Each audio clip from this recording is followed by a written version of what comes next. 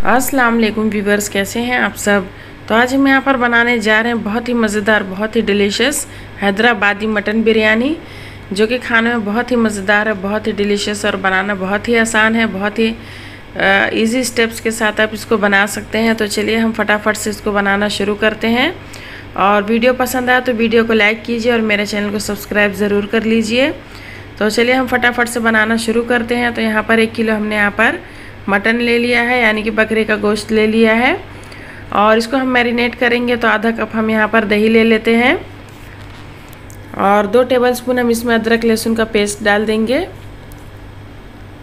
दो टेबलस्पून हम इसमें हरी मिर्च का पेस्ट डाल देंगे। आप तीखा कम खाते हो तो इसको थोड़ा सा कम कर दीजिए। और यहाँ पर हमने हकीम बिरयानी मसाला लिया है। आपके पास जो भी बिरयानी मसाला हो, आप यहाँ पर दो टेबलस्पून बिरयानी मसाला ले लीजिए। और दो टेबलस्पून हम इसमें डाल देंगे धनिया पाउडर, एक टीस्पून हम इसमें हल्दी पाउडर डाल देंगे, एक टीस्पून हम यहाँ पर लाल मिर्च का पाउडर डाल देंगे और एक टेबलस्पून हम इसमें नमक डाल देंगे। आप अपने टेस्ट के हिसाब से नमक कम ज़्यादा कर सकते हैं। और एक कप हमने यहाँ पर तली हुई प्याज डाल दी है और थोड़े से हमने धनिया और पुदीना के पत्ते ले लिए हैं। इनसे फ्लेवर जो है बहुत ही अच्छा आता है। तो इन सबको डालकर हम अच्छी तरीके से मिक्स कर लेंगे। तो चलिए इन सारी चीज़ों को अच्छी तरीके से मिक्स कर देंगे तो इसको हम हाथों से अच्छी तरीके से मिक्स कर देंगे ताकि मटन में अच्छी तरीके से मसालों का फ्लेवर आ जाए अच्छी तरीके से। तो और मेरे चैनल पर और भी बहुत सी मटन की रेसिपीज़ है, बिरयानी की रेसिपी है तो वो भी आप ज़रूर ट्राई कीजिए। बहुत ही अच्छी अच्छी रेसिपीज़ हैं तो ज़रूर मेरे चैनल पर विज़िट कीजिए। तो ये देखिए, हमने मटन को अच्छे तरीके से मसाले के साथ मिक्स कर दिया तो 30 मिनट के लिए इसी तरीके से इसको छोड़ देंगे। तो 30 मिनट हो चुके हैं तो एक प्रेशर कुकर में हम आधा कप तेल ले लेते हैं। तो हमने यहाँ पर प्याज जिस तेल में फ्राई की थी वही तेल हमने लिया है। तो इसमें हम खड़े मसाले डालेंगे। तो यहाँ पर लौंग, इलायची, जीरा, शाह जीरा, काली मिर्च और एक टुकड़ा दालचीनी और एक तेज पत्ता हमने यहाँ पर ले लिया है। और जब मसाले चटकने लगे तो हम मैरिनेट किया हुआ इसमें मटन डाल देंगे। अभी से मसालों की खुशबू जो है बहुत ही अच्छी आ रही है। तो मटन डालने के बाद इस तरीके से इसको हम चलाते रहेंगे अच्छी तरीके से। भून लेंगे गोश्त को।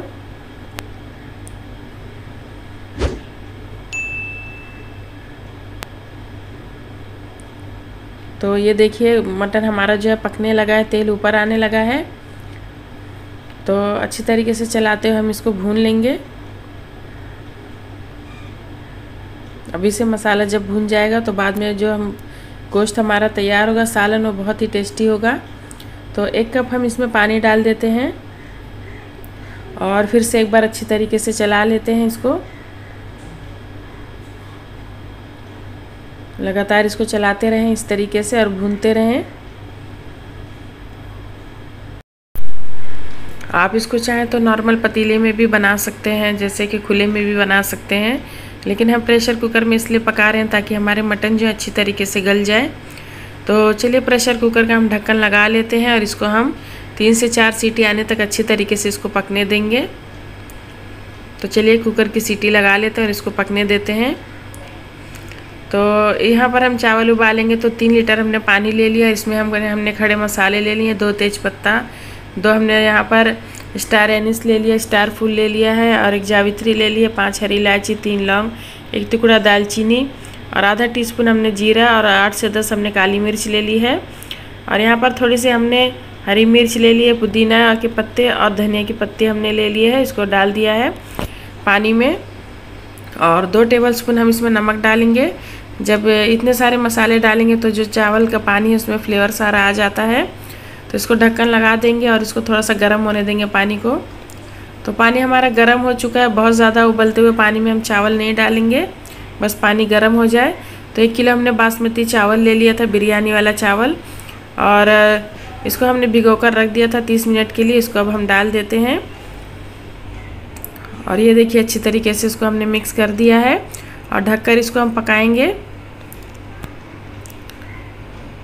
तो ये देखिए बीच बीच में हमने इसको चलाते रहेंगे इसको अच्छी तरीके से ताकि चावल उबल के गिरे नहीं।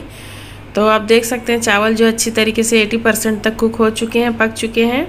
तो इनको हम छान लेते हैं और मटन को चेक कर लेंगे। तो ये देखिए, मटन हमारे जो हैं, अच्छी तरीके से गल चुके हैं और अच्छे से पक चुके हैं और इसमें थोड़ा सा पानी है। तो इसको चलाते हुए हम इसी तरीके से थोड़ा सा पानी को सुखा लेंगे और तेल बिल्कुल ऊपर आने लगा है। तो कुकर का ढक्कन बस ऊपर से रख दें इसी तरीके से और इसको थोड़ा सा पका लेंगे। तो ये देखिए, पानी हमारा अच्छी तरीके से सूख चुका है सालन का। तो अब हम गैस को बंद कर देंगे और तेल सारा ऊपर आ गया है। तो तेल को हम निकाल लेते हैं क्योंकि इस इस तेल को हम चावल इसे ऊपर से डालेंगे जब हम तही लगाएँगे चावल की।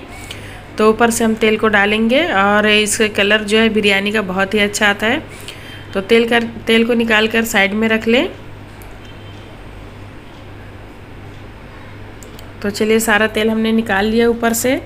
अब बिरयानी की लेयर लगाएँगे तो ये देखिए आधे चावल को हमने एक पतीले में रखा है, जिसमें हमने चावल बनाया था, उसी में हमने चावल रखा हुआ है, चावल को छानने के बाद। तो ऊपर से अब हम मटन को डाल देंगे। ये देखिए इस तरीके से सारे चावल को अच्छी तरीके से कवर कर लें।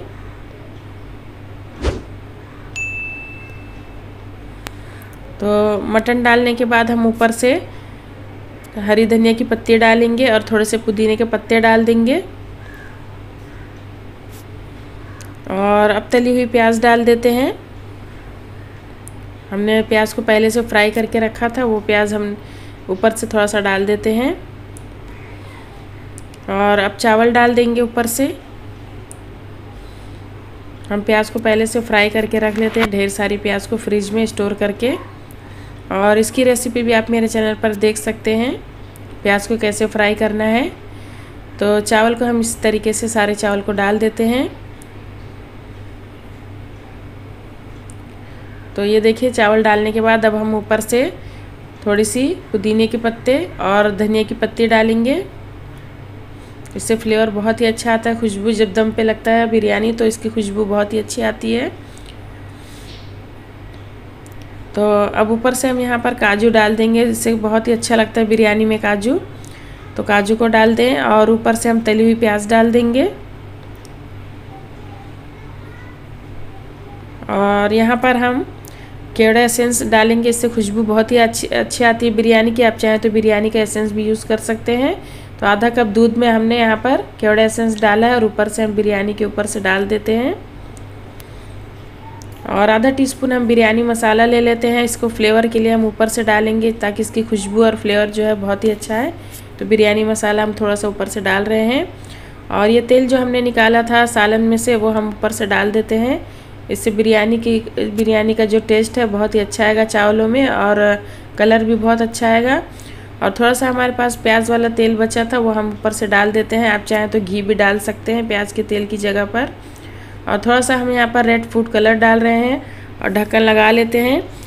तो गैस पर हमने यहाँ पर तवा गरम करने के लिए रखा हुआ अच्छी तरीके से हाई फ्लेम पर और ऊपर से हम इस पतीले को रख देंगे ढक्कन लगाकर। तो अब इस पतीले में हम एल्यूमिनियम फॉयल लगाएँगे ताकि हमारी जो बिरयानी की स्टीम है, भाप है, वो बाहर ना निकले।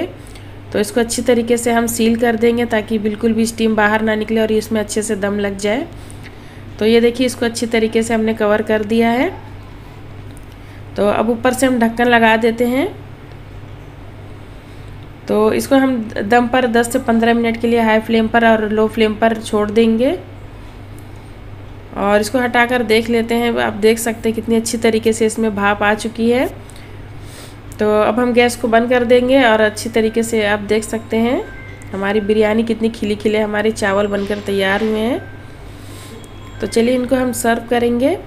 तो ये देखिए, हमने यहाँ पर मटन बिरयानी को सर्व किया है। तो अगर आपको ये रेसिपी पसंद आई हो, ये वीडियो पसंद आई हो तो इस वीडियो को लाइक करें, मेरे चैनल को सब्सक्राइब करें और कमेंट करके मुझे ज़रूर बताइए हैदराबादी मटन बिरयानी की रेसिपी आपको कैसी लगी, ये वीडियो आपको कैसी लगी।